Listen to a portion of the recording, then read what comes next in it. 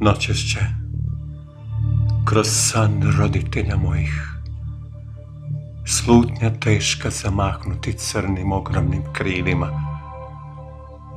I braće moje, kroz srca viteška strah će minuti, a ja ću već biti daleko od rodnih sela, na domaku svetogorskih tihih manastira, klečat ću već kraj manastirskog praga bela, pun molitve i mira.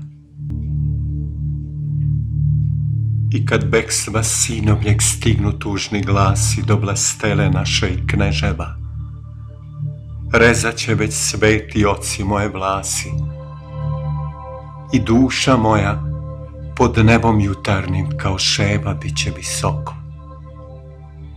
A kad mati moja pruži ubogom komad kruha i pomene u molitvi ime izgubljenog čeda, srce će kucati moje ispod svešteničkog ruha i spazit ću gde me Hristos pravo u oči gleda.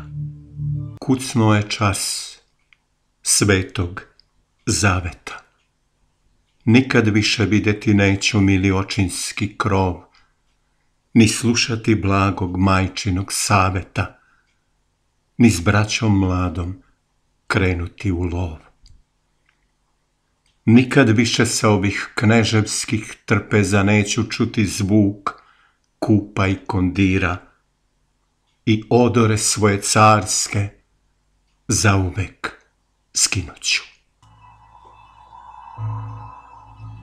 A kad manastirske prekoračim prage mirne, u osamljenička kad stupim dvorišta i udahnem miris svete smirne, duša moja od života više ništa tražiti neće.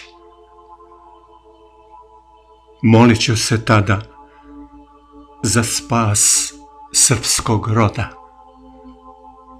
za roditelja svojih, blagi pobožan kraj.